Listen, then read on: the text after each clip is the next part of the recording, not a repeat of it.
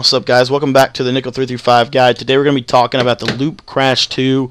Uh, this is one of my favorite plays in the in the whole book because I think it does a really good job against everything to the left side. Uh, I love the way that this play lines up. Now it's very similar, the setups are almost identical to the Loop, uh, Loop Crash 3, but I felt like it was you know important enough to, for me to at least show you how they work. Um, so my favorite pressure obviously to run out of this is the left side pressure. I feel like that's what the play is set up for. So I'm going to tend to run that a little bit more. Uh, the setup for the left side pressure is exactly uh, the same as the setup for the LB uh, Loop Crash 3. What you want to do is you want to base a line, you want to shift your D line to the right. You want to spread your linebackers. From that point, if you want it, you don't actually even have to re-blitz this backer uh, most times, but I personally recommend it. Uh, so you want to crash your line down and re-blitz that backer just to get in yourself in good habits. And then what I like to do is man this uh, guy up, Dunlap here, on this slot receiver if there is a slot receiver. If there's not a slot receiver, then I'll typically maybe drop him into a straight back deep blue zone. Uh, the way I like this is because it does a good job at taking away seams, which is kind of the vulnerability of a cover two blitz anywho. Um, also, one thing to take in mind here is that you, as a user player, you need to get over in this left seam area. Uh, oftentimes, as a user player, I like to play the middle of the field, but uh, you'll see at the snap of this ball, I'm going to just sprint out there to the left side of the field, and you see the pressure is going to come in off that left side. I'll show you that one more time. Uh, what I like to do again, base a line, shift my D line to the right, spread my linebackers, crash my line down, globally reblitz my LOS linebacker. From that point, I can zone off or man up Dunlap. I will typically user the middle linebacker, and it's almost as if I'm using him into a curl flat zone until I get to the seams. So I'll let the computer run him out there, and then I'll kind of take a hold of him and bring him back over the middle of the field on a deep drop.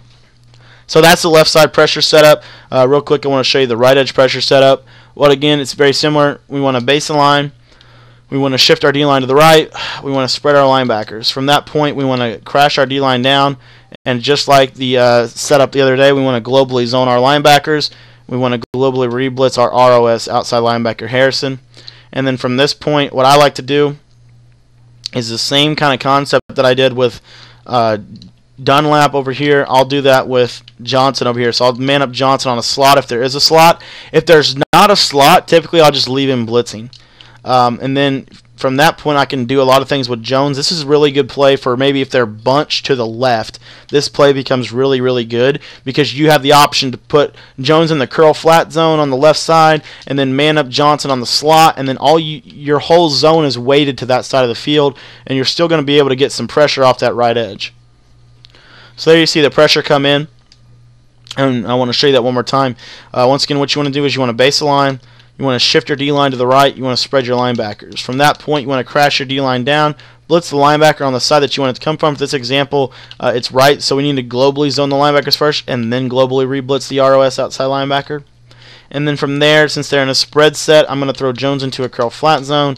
I'm going to throw Johnson into a man assignment over there on that side of the field. And then if they're in a spread set like this, I'm going to do the same kind of concept where I'll take I will take uh, Maualuga, play him almost as if he's in a curl flat zone to go out there, and then I'll rebalance him over the middle of the field deep and recover.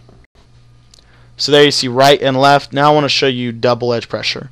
Uh, so double edge pressure, very similar uh, to yesterday. We want to base the line. We want to shift our D line to the right. We want to spread our linebackers. From that point, we want to crash our line down and just reblitz both out line, outside linebackers. You see that we have set up here. Now, what I personally like to do is I'm going to put both safeties in hook zones when I do this. This is kind of like my goal line play uh, or like my short yardage play that I'll run.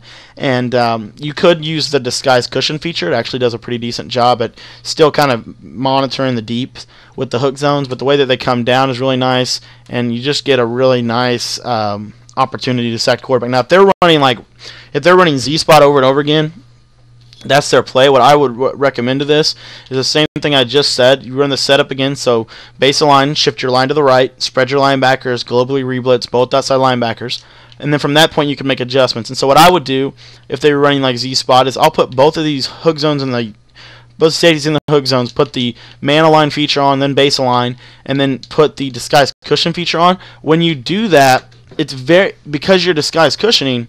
It's very very hard. Here I'm going to force a streak to the seams, and you see that George Iloka is going to make a great play uh, in the seams and, and pick it off. And that's kind of the power in this play, especially when you use the disguised cushion feature, is it looks like it should be open, but it really isn't.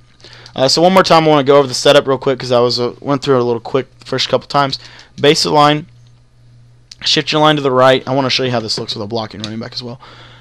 Uh, crash your defensive line down. Spread your linebackers. Globally reblitz both outside linebackers. And then you're free to make adjustments uh, beyond that. And uh, here you'll see we should get that. They pick up the left side, but we're going to get that right edge pressure and clean at the quarterback uh, for the sack. So that's Loop Crash 2. And uh, tomorrow, I think we're going to talk a little bit more about the Cap Blitz 2 role, uh, since that is the strong right version.